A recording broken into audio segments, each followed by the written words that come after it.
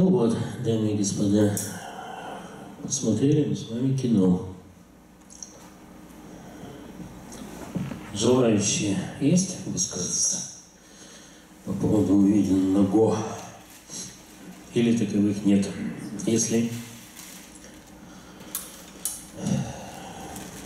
никто ничего не хочет сказать, переходим плавно в режим неформального общения. Если есть желающие высказаться, все-таки. Ну. Вообще такая. Анна. Крутая. Давай сюда. Ну, я.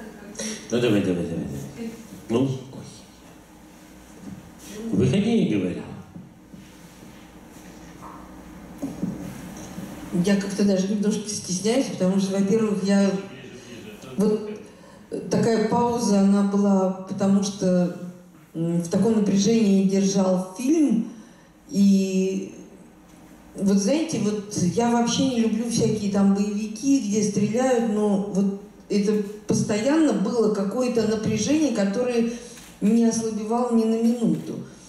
И вы знаете, ну, я немножко даже могла, могу сравнить вот с какими-нибудь антиутопиями. Э, собственно, оно так, так как бы и есть. Да, да. Вот. И, честно говоря, я как-то немножко подумала, может, это не какая-то потусторонняя там действительность, может, это то, что нас окружает, ждет, что было, и не дай бог, что будет. И еще, знаете, меня э, сюжет для меня много, конечно, значит, но для меня еще больше значит, как это сделано. Вот то, что вообще потрясающе выстроенные диалоги, и, э, вот какая-то динамика, какая-то пластика даже, да, освещение, вот э, сам вот формат кадров, вот я не знаю, это оператор делает или режиссер вообще. Это делается триады. Да? Есть режиссер, Ну. оператор и художник. Но, э, И вообще и актерская, конечно, игра потрясающая. Мне очень понравилось.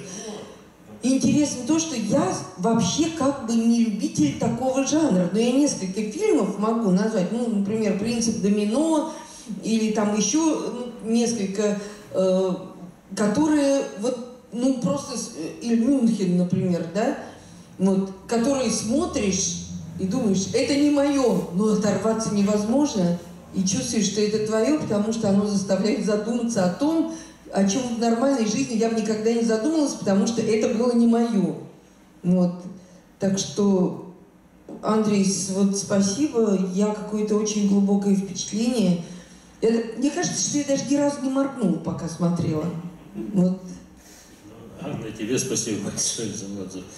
Э, Кто-нибудь еще что-нибудь хочет сказать, э, о чем-то спросить, или так все ясно и нечего Очень обсуждать? много не ясно при этом. Ну, кстати говоря, э, когда мы сдавали кино в Госкино СССР, там как раз вот тот самый деятель, который единственный принимал решение, он нам как раз сказал о том, что, говорит, у вас э, очень много символов, говорит, у нас фильм символами перегруженный, говорит, э, вряд ли кто-то вас поймет э, вот э, в полной мере.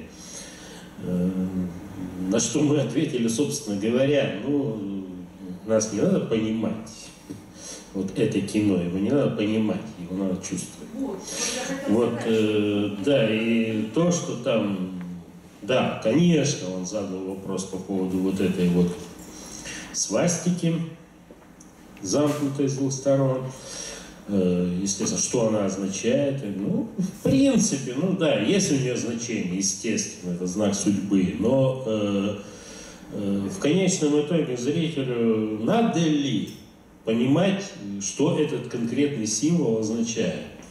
В конечном итоге, ну, если кому-то захочется это узнать, ну, э, в то время, конечно, не было никаких гуглов, интернета не существовало, компьютер, который вы видите. А? Так вот, э, именно это, ну, э, свастика, она существует в десятках вариантов. Их очень много, самых разных. Вот символ, да? Вот, э, да, да, да, вот э, это свастика, да, это свастика один из ее видов. Э, ну, я говорю, что свастик, их действительно, они же пришли, собственно говоря, из санскрита, там, значит, из индуистской, Имя главного э, героя. да, Гёс это тоже, да? Гёсер, типа, что-то немецкое. Ну, тут, э, так, э, давайте сейчас на, на этом. А вот э, это, это как сценаристу, между прочим, ну, э, нет, э, вот э, я опять же могу сказать, как сценарист, да, что все, что вы в фильме увидели, ну, ну нет случайностей. Случайностей тут нет. Тут все, что сделано, оно имеет э, свой определенный смысл, э, несет определенную, так сказать, э, нагрузку, но э, тут ведь э, главное не то, как зритель э, распознает, поймет или не поймет этот символ. Э, Главное это создать именно вот общую атмосферу. Вот, например, э, никто из вас, я вот 146% уверен, э, никто из вас не э, обратил внимание на то, что э, на пачках сигарет, например, да, вот те, которые у капитана, там 5 белых полосочек, а тех, которые у сержанта, на них только 3. Вот. э, Конечно, этого никто не увидел. Это ежу понятно. Ну, кто на такую вот там мелочь может обратить внимание? Но позиция художника, постановщика Виталия Бабушкина, да, э, была как раз именно в том, что вот что ничего, вот- даже такая мелочь, она не должна быть случайной, она должна быть знаковой. И э, на самом деле, когда э, строится кадр и когда снимается э, какой-то там фрагмент, эпизод э, и далее сцена, э, вот самые-самые-самые мелочи, самые пустяки, они вроде бы вот э, поштучно не видны, незаметны зрителю, но в совокупности все это создает вот некую э, определенную совершенно атмосферу. Э, И когда, э, собственно говоря, вот чего мы и добивались вообще-то в фильме, чтобы каждый кадр, каждая вот сцена и каждый вообще фрагмент фильма. Работали на одну вот общую какую-то э, эту самую вот э, э, характерную какую-то э, ну да, вот э, атмосферу, именно создание э, общего вот какого-то такого ощущения, э, которое, вот, кстати говоря, ведь, э, что греха таить, э, очень многое в визуальном искусстве, да, вот, пожалуйста, в картинах, которые вот висят на стене, в кино, в театре, когда вы смотрите на действия на сцене, очень многое работает на подсознании. Что э, визуально мы вот э, воспринимаем вот как бы один уровень информации, да, но всегда есть еще какая-то подслойка под ним, которая работает на вот этот самый, как он там нас называется, мозжечок, да, Э, что мы вроде как вот зрительно-то, э, может, и не отражаем особо, а вот на подсознательном уровне это срабатывает. И, вероятно, да, отчасти нам это удалось сделать. Еще мысли, идеи, слова? Нет? Оружие у них реально весело, когда вот он бежал. Сколько это килограмм? Э, МГ э, который там он, э, МГ-42, по-моему, он весит э, порядка 7, по-моему, килограмм. Ну, с боекомплектом это сколько, ну, как Ну, имеет, ну, боекомплект как бы тащит ассистент, так сказать. Вот. Но, тем не менее, учитывая все его снаряжение, ну, тут, конечно, Виталик сработал э, совершенно убийственно, даже, честно говоря, даже для меня, потому что Женя там, Гребнев, царство ему небесное, оператор, э, зарядил вот эту сцену с их пробегом Да, вот я хотел спросить, Э, с какого дубля ее сняли? Э, Единственный дубль, единственный. Значит, э, Женя сидел в багажнике машины. Вот за этой машиной э, все бежали. Вот. э, Авилов потом, конечно, так сказать, нас э, покрыл серьезными словами. Даже его каком-то интервью он говорил о том, что говорит, он бежал за машиной и ждал, когда же у него заразы пленка кончится. Но э, то, как пробежал Виталик, это, конечно, песня просто. Ну и я думаю, что э, здесь и на экране это видно, насколько это было здорово. Вот, э, действительно, очень-очень атмосферный кадр, очень... А сказать, вообще вот фильм как-то очень на какие-то на кадры распадается, как, как картины, которые А. можно. Вот, э, даже вот когда перед этим показывали слайд-шоу, да, и вот они очень выразительны сами кадры, вот какие-то композиции, их освещение. Вот, э, Ну, здесь, конечно, в первую очередь надо э, спасибо сказать э, Жене Гребневу, Царство ему небесное. Э, Женя отошел в мир иной через два года после того, как снял этот фильм. Э, Это э, была его вторая постановочная работа. Э, Мы с ним познакомились еще в бытность нас обоих ассистентами, то есть я э, работал ассистентом режиссера, он ассистентом оператора. И э, когда я э, начал пытаться, скажем так, подбирать э, команду для создания этого фильма,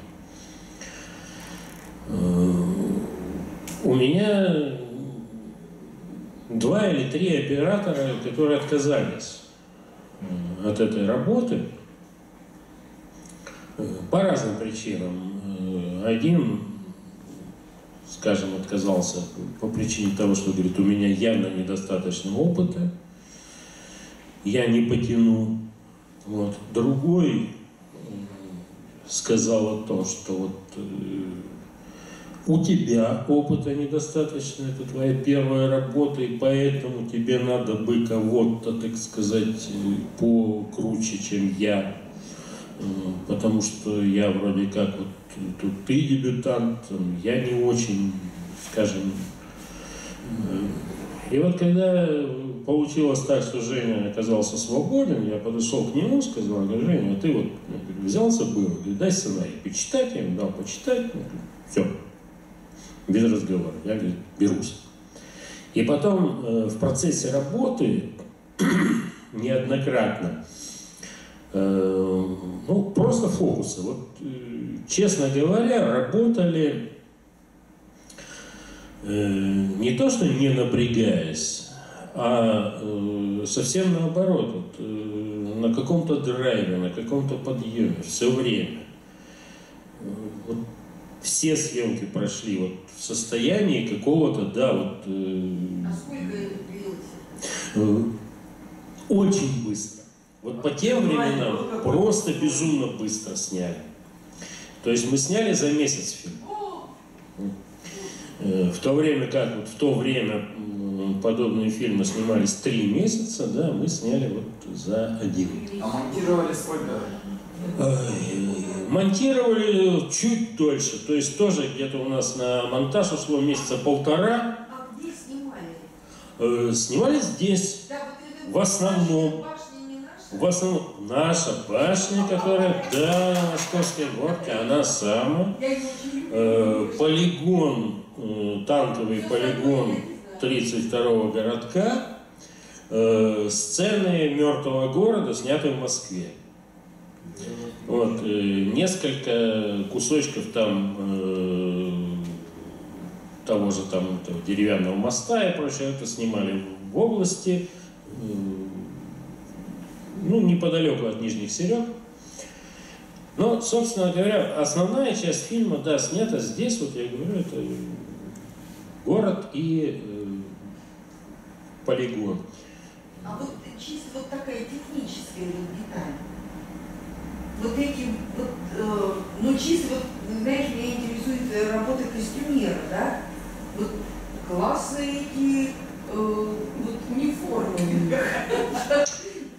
Униформа это тоже, э, Взяли опять же, надо э, отдать должное Виталику Бабушкину, художнику-постановщику, который э, придумал эту форму. вообще такая смесь э, каких-то и вот была взята э, новая для того времени, ну как новая, э, последний вариант афганской формы, э, которая не была полностью использована, поскольку, ну, как мы знаем, годом раньше войска из Афганистана были выведены, э, достаточно много этой формы осталось на складах. Вот мы купили эту форму, э, обесцветили, и кое-какие там, так сказать, дошивки до прибамбаса к ней сделали.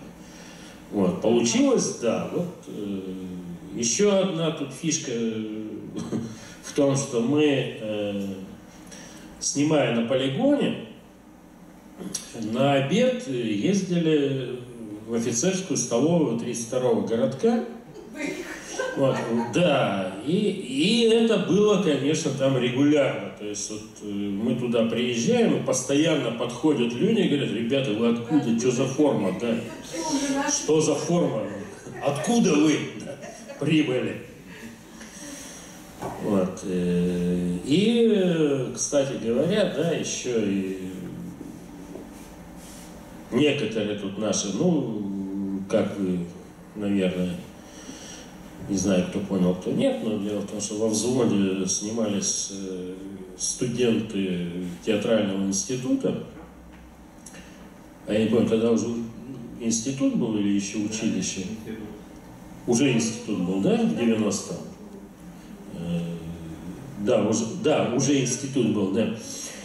Вот. Тоже эти ребятишки тут придем, переоденемся, вот, пока суть до дела, вот, они прям так вот в этой униформе, значит, повинтили там за пивом. Вот. По городу, да. Ну, тоже, так скажем, имели некоторые вопросы. Но э, если об этом вот, э, а эту часть, так сказать, эту сторону, да, затрагивать, то э, была совершенно феноменальная ситуация. Э, бой, который вы видели в горах, значит, ночью, да? Вот. Этот бой должен был быть вечерним. Должен был быть вечер. Еще не темнота. Но э, Виктора Васильевича ждали с самолета. Э, он летел, значит, и должен был прибыть прямо вот, то есть с аэропорта на съемку, на съемочную площадку. Э, Съемочная площадка была на э, Уктусе, вот э, улица там какая она, Лыжников, да, то есть с одной стороны стоят дома, пятиэтажки, с другой стороны скалы. Вот в этих скалах мы и развернулись для съемки. Ну, чтобы ее начать, значит, нам нужен Авилов. Авилова нет, Авилов в самолете. Самолет прилетает с опозданием на два часа. Э, Естественно, значит, там Васильевича хватают, э, везут сюда прямо, значит, сходу. Он, ну, естественно, он в курсе, что прямо с самолета на площадку. Вот. Но вот такие съемки, которые э, связаны со стрельбой, со взрывами, значит, там с какими-то падениями и так далее, обязательно по всем законам, обязательно скорая помощь, обязательно пожарная машина, обязательно милиция, которая э, контролирует так сказать, периметр, все прочее. Вот. Но поскольку темнота уже сгустилась, Э, нам тут, значит, пришлось мудрить, э, как же нам сделать-то так, чтобы, ну, ну, вот все это заказать, все это приехало, все это стоит, все это, значит, э, стоит денег и немалых. Откладывать эту съемку, переносить, это значит снова еще раз платить те же деньги. То есть, ладно, придумали, давайте все-таки с дигами, там, значит, прожекторы, там что-то запустим, вот эту всякую фигню, вот там будет мелькать туда-сюда, э, что-нибудь придумаем. Хорошо, все нормально. Э, Васильевич приехал, мухой переоделся, конечно, там, значит, все, давай, давай, бегом, бегом, все, давайте снимать. Э, снимаем сцену. Значит, э, во время этих съемок происходит э, там другая сцена. Я свидетелем не был, естественно, поскольку находился внутри. Сцена происходила на внешнем периметре. Рассказали мне потом, что значит, та самая милиция, которая нас берегла, три человека, которые смотрели на часы, говорили, ну что долго, минут через 10, говорят, да, из кустов выглядывает еще один их коллега, значит, с автоматиком выглядывает так. Они говорят, а, ну, ну, все, давай, иди сюда, иди сюда. Говорит, холодный пот со лба отер, говорит, слава тебе, Господи, тут нам, говорит, уже поступило сообщение, тут, значит, стрельба идет, тут какая-то банда, значит, там черт и черт, тут, говорят, чуть ли не из пулемета стреляют, да из пулемета стреляют, да. Вот. А на следующий день, ровно на следующий, а, ну, кстати, я обратил внимание э, в каком-то там, значит, э, перерыве, когда э, вот эти пятиэтажные дома напротив, через речку, вот все окна, все балконы усеяны публикой, все, все наблюдают.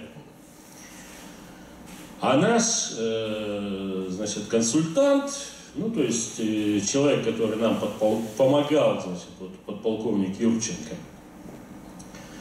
э, замечательный человек, которому я тоже безумно благодарен, он очень во многом помог. На следующий день он мне сообщает, говорит, у меня в этом доме, вот там в одном из них, значит, друзья живут, и говорит, представляешь, они мне сегодня позвонили с утра, говорят, знаешь, что творилось вчера, значит, у нас на Утусе. Я типа спрашиваю, что там творилось. Они говорят, какую-то банду брали. Значит, милиция там, скорая, значит, все это там сверкает огоньками. Стрельба шла часа полтора. Вот, причем там, значит, говорит, из пулемета мочили, говорит, там, значит, черти что там творилось, ну темно, мы, собственно, толком разглядеть-то не могли, ну там, похоже, вертолет какой-то, значит, это, э, короче, что там за банда была, мы, говорит, понять не можем, мы, говорит, ну, ну очень мощно э, сопротивлялись там. Ну, ну вот я говорю, да, вот, вот так рождались слухи, да, по городу. Вот. Ну, это одна из очень маленьких таких деталей э, всего того, что вообще вокруг этого кино было. Ну что, еще несколько кому-то слов, кто-то что-то скажет или пошли Можно? в свободный режим. Можно? Ну вот вы подойдите, пожалуйста, сюда и скажите в микрофон, да? 6. А? Вот у меня цифра, цифра 6, я говорю, да, она не Шесть. называет к Чехову, палату 6. Нет, Нет? Она не к Чехову называет. А а что? Она взывает к трем шестеркам. Сафари номер 6 это э, совершенно конкретное название компьютерной программы, которая в то время существовала. Э, причем это была не игровая программа, в то время компьютерных игр там, я не знаю, вообще были они или нет. Э, эта программа 90-го года. Ну, 90-й год вообще компьютеры вот только-только начали видеть, в принципе. Вот тот компьютер, который действует в фильме, вот, э, вот такие они были. И э,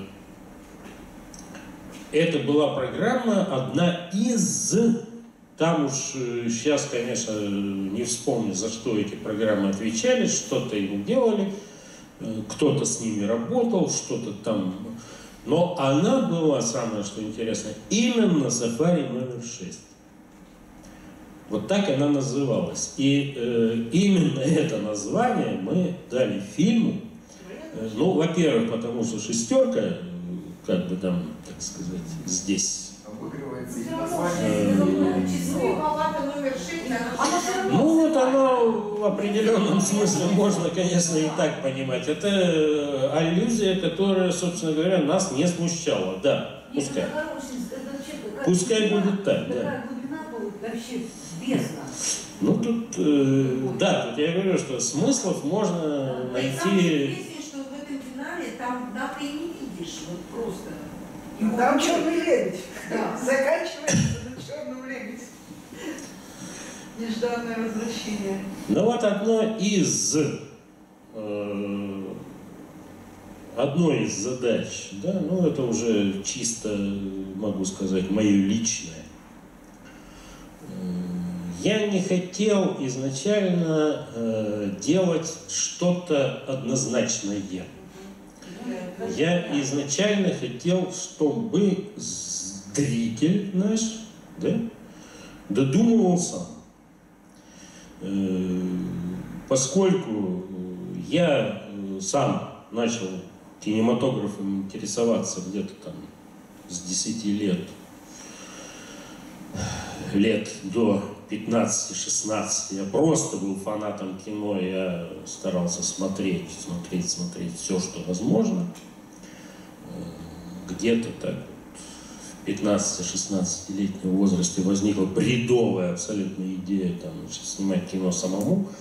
Хотя это и было понятно, что это где-то там за облаками, это недоступное абсолютно э, желание, что это никогда не осуществится, что это невозможно.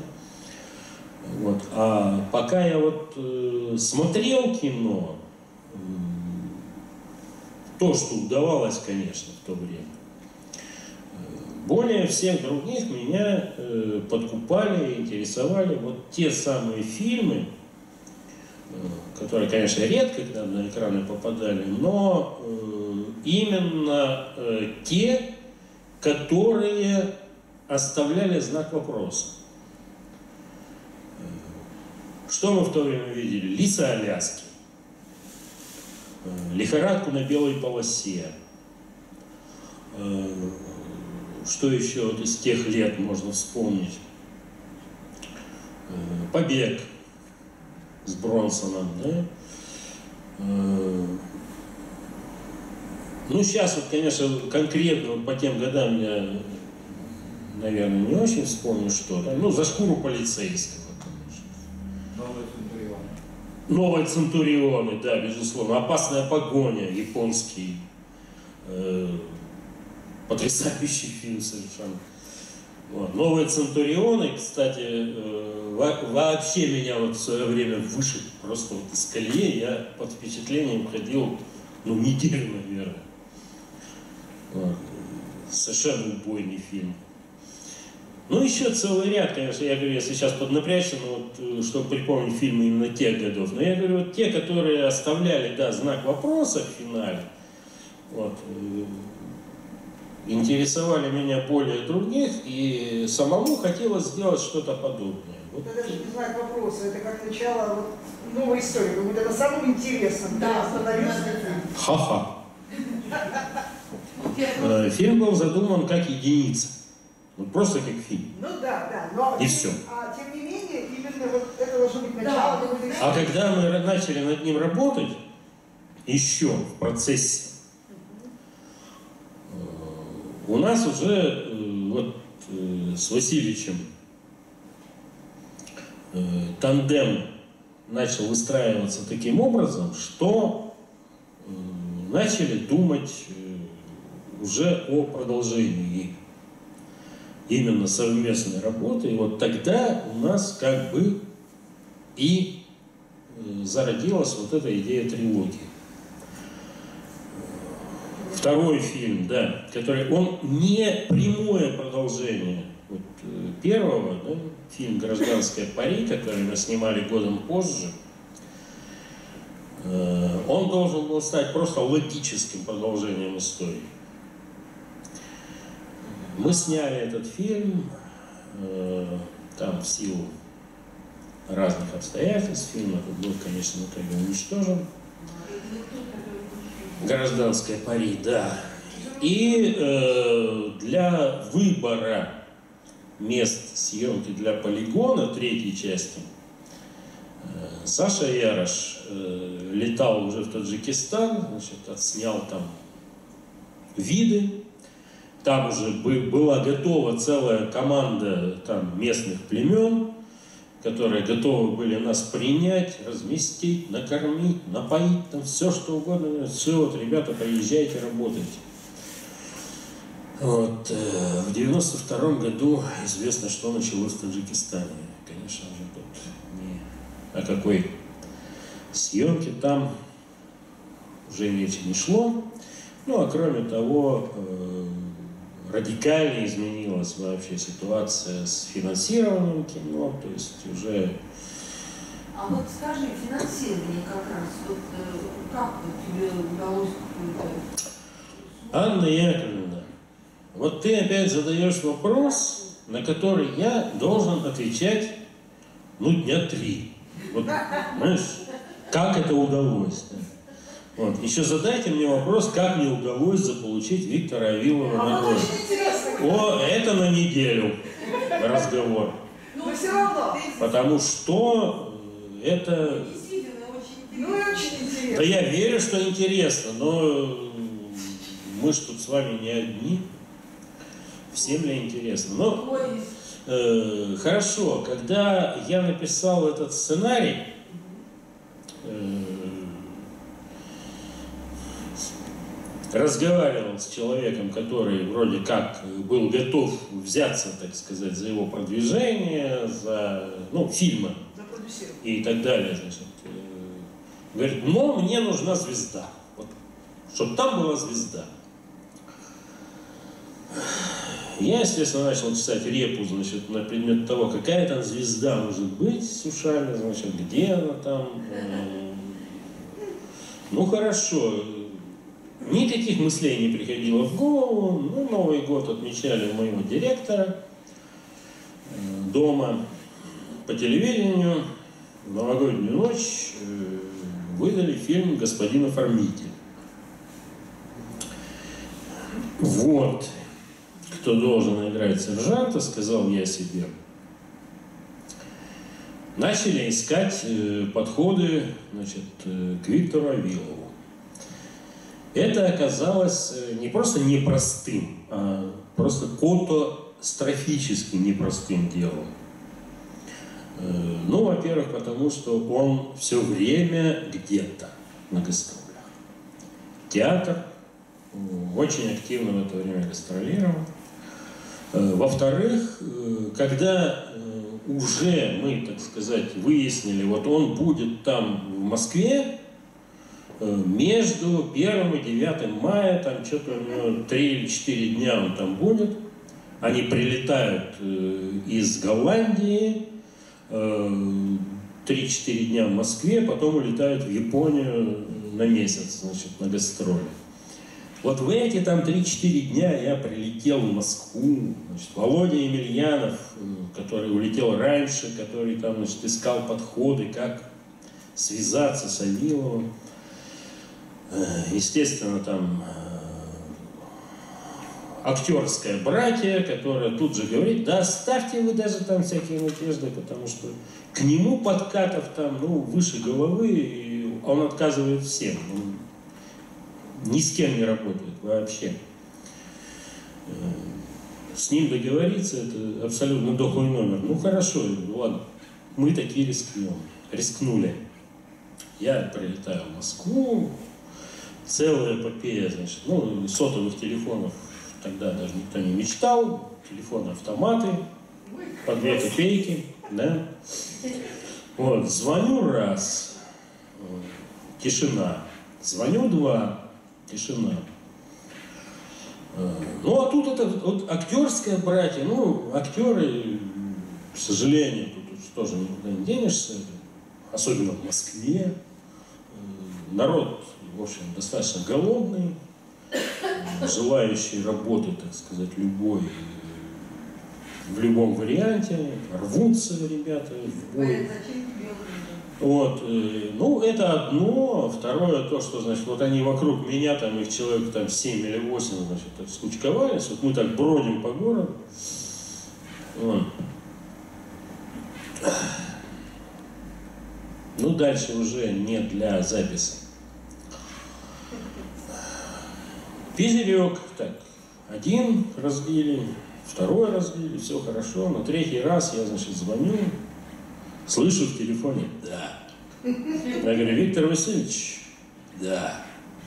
Я говорю, знаете, дело такое, я вот прилетел из Свердловска, значит, хотел бы с вами встретиться, там, переговорить по поводу э, вашего участия в фильме, вот у меня есть сценарий.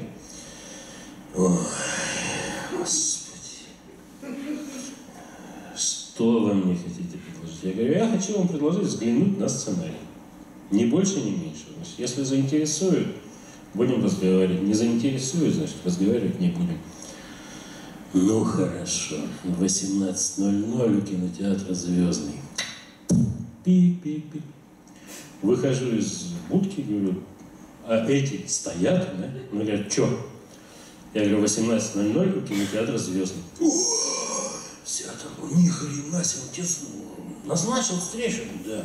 Слушай, это надо отметить. 18.00. У кинотеатра «Звездный» нас трое. Значит, по центру я, с двух сторон меня подпирают, значит, две штанги, да. Одна это Вова Емельянов, значит, вторая еще, значит, один там актер по, по кличке Моряк, не будем называть его имени. Вот, ну зачем? Э, Короче говоря, э, слышу, вон он идет. Так, мгм, он идет. Эти штанги отошли, все, ракета на старте, сконцентрировался, пошел прямо, ровно. Подхожу, Виктор Васильевич, это я вам звоню. Я посмотрел, говорит, очень приятно, будем знакомы. Значит, ну, пойдем, говорит, в тачку сядем, потому что говорит, тут сейчас за едят. Сели в тачку. Ну, разговор, слово за слово, взял сценарий, открыл, на кого, говорит, внимание-то обратить. Ой, сержант, капрал, это что, говорит, стричься придется, что ли? Я говорю, нет, стричься не придется, там, говорю, посмотрите сценарий, там, все будет понятно. Ну ладно, все, э, я позвоню послезавтра. Э, Прочитаю, значит, там решим. Сколько дней у вас? Ну, ну, ну, ну, столько дней. Ну, говорит, ой, да нет у меня столько дней. Там, сколько, 28 дней, по-моему, съемочных. Да нет у меня столько дней. Ну ладно, короче говоря, я позвоню. Или лучше, говорит, ты мне позвони. Я могу забыть. Так, ну хорошо. Я на следующий день улетел домой. Вот через два дня, как договаривались, я ему звоню. Я говорю, Виктор Васильевич, Андрюша, я в восторге, все. Нет вопросов, значит, я снимаюсь в этом фильме, значит, без, разговоров, только, говорит, единственный вопрос реши э, с Юнгой Хилькевичем по моим дням, потому что, говорит, я вот сниматься буду в это же время у него, говорит, вот вы с ним как-то дни разделите, значит, между собой свяжитесь, договоритесь. Когда я у него, когда у тебя, значит, говорю, ну все отлично. Все, улетел в Японию на месяц. Дальше, ой, там еще там такая ой, история. Э, Начали его снимать в Москве, вот с этих московских сцен в мертвом городе. Э, Это все хорошо. Ладно, э, отдельная история, потому что там тоже эпопея была целая. Э, Прилетели сюда, э, Приехали в группу, летели вместе, значит, из Москвы. Э, Приезжаем, сели за стол вечеру, слово за словом. Он говорит, знаешь, чем ты, говорит, меня убил на повал? Я говорю, чем? Он говорит, тем, что ты на первую нашу с тобой встречу пришел в шутку пьяным. Он, я, говорит, на тебя посмотрел и понял, что мы с тобой сработаемся. Я говорю, ну, ну, молодец, значит, спасибо, что так оценил. Вот. э, Ну, это тоже как бы, значит, отдельная история, отдельная эпопея. Вот. Но на самом деле, конечно, э, вот э, сотрудничество складывалось ну, в высшей степени благоприятно, потому что уже э, еще, да, да еще на сафари работали. Э, Потом уже, когда на гражданском паре, это уже вообще в систему превратилось. Когда э, звонят там из какой-то группы, вот он у нас должен там приехать сниматься. Он говорит, так, скажите им, Петру, Петр второй режиссер, который там все переговоры вел по телефону, он говорит, скажите, меня нет, я, значит, там где-то далеко в области, там связи нет, и все. Я, короче говоря, когда смогу, я им сам позвоню, сам приеду. Я говорю, ну, Василий, я говорю, ну как-то так не очень хорошо, потому что я же обещал, что ты там будешь к ним прилетать. Ладно, ты обещал, я нет. Я говорю, ну ты молодец, как всегда. Я говорю, ты Да, да пошли они там, типа того, что я вот к ним летал на неделю на съемки, я к ним летал, да. Я знаешь, что за эту неделю сделал? Я один раз прошел по коридору и один раз выглянул за дверь. Я говорю, за неделю. У тебя, говорит, я работаю каждый день. Говорит, «Так- я, говорит, лучше у тебя буду сниматься, чем говорит, там вот это, заниматься этой, ну, сами понимаете, чем. Ой, ну, давайте все, на этом закончим, потому что я еще, я говорю, я, я месяц могу говорить. Спасибо тем, кто не, не испугался морозов. Вот, еще у нас есть с вами время там по рюмочке кофе ю выпить. А у меня вопрос к Кириллу, я все равно не поняла. Если ты там снял бы фильм Вот, 12 Сталкивали сверху. Когда? Анна Яковлевна, я бы так снял. Ну, Если первый? было на что. Вот понимаешь, очень много вещей, которые, ну, бесплатно, вот как ни крути, не сделаешь. Потому что э, я сам кое-что могу. Но, к сожалению, слишком мало. Что я могу в одиночестве. Вот. Для того, чтобы сделать что-то действительно реально стоящее, качественное, э, нужны люди. Тут, я говорю, это коллективное творчество. Кино, оно не делается в одиночку. Вот его большая проблема. Если бы я картину писал, да, тут я бы, наверное, сделал один. Но поскольку вот такого рода искусство, оно требует, требует участия многих-многих людей, специалистов. Ну, интересно то, что вот я вот сейчас э, там слушаю, а у меня в голове вот какие-то вот просто как картины, кадры отдельные.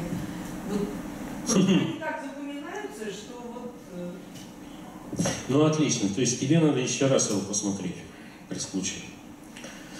И вот, Я- кстати говоря, вот, э, я собственную коллекцию собирал всегда, да? Вот, по тому же самому принципу. То есть не по принципу просто хорошее или плохое кино, да? А по принципу того, что мне, вероятно, когда-то захочется еще раз посмотреть. И может быть уже не второй, и даже не пятый, и даже не десятый раз. А я вот уже буду фильм какой-то смотреть 15 20 раз, и оно мне не надоедает.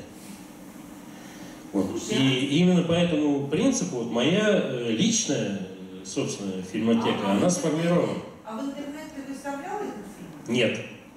Нет. В интернете ходят, э, значит, э, там не просто пиратские. Э, Там абсолютно, ну, что называется, бандитские копии. Вот, копия у меня пропала э, после того, как э, в Совкино тогда еще был, с- значит, проводился фестиваль фильмов Свердловской киностудии.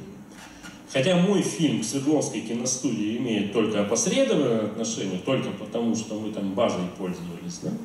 Тем не менее, у меня попросили, вот дай копию. Я говорю, так вот у меня только пробная есть. Вот еще не готовая, не законченная. Да ладно, типа того, что там, значит, показать, ну, как... Ну хорошо, я говорю, возьмите. Взяли. Назад не вернули. Привезли, значит, все фильмы, которые возили, мои, моего фильма нет. Я пошел в Совкино, я говорю, ребята, а у нас нет, у нас все забрали. Все, что было там на фестивале, вот, в Свердловске, на студии привозили все. Отлично, фильма нет. Через некоторое время он выходит на кассетах, на вот тех еще, значит, ВХС. С рекламой э, нов- э, Виктор Авилов в новом спецназовском боевике. А, ну, ну не, ну там что-то да, наворочено было, там черт что, конечно. Вот. Э, Причем э, у меня еще денег не было вот, купить эту кассету. Вот, Ну просто не было денег, да. Вот. Я пока ходил там, значит, собирал деньги на то, чтобы купить, да. Через неделю где-то пришел, все, нету этого есть Я говорю, а, м, а вот там где-то продавали. Хорошо, поехал туда, посмотрел, тоже нету. То есть э, за неделю тираж разлетелся, просто разлетелся. Улетел. Теоретически он где-то может быть на кассете у кого-то. Ну даже не теоретически, он практически у кого-то есть. Я просто... Слушай, такое, может, в интернете есть, нет? В интернете есть, я еще раз говорю. Там выложено вот это, пробное, как э, вообще не- недоделанная, абсолютно дерьмового качества копия, э, которую я просто никому не рекомендую смотреть. Андрей, вы- а почему ты не хочешь вот поставить в интернет? Э, то есть у тебя есть какие-то предположения, что это коммерческий вот какой-то вот может еще? Ой, ну, знаешь, давайте перейдем в режим Да. к тому столику, да? Еще раз всех поблагодарю за внимание. А на подобные вопросы будем уже отвечать, так сказать, в приватном режиме. Спасибо всем.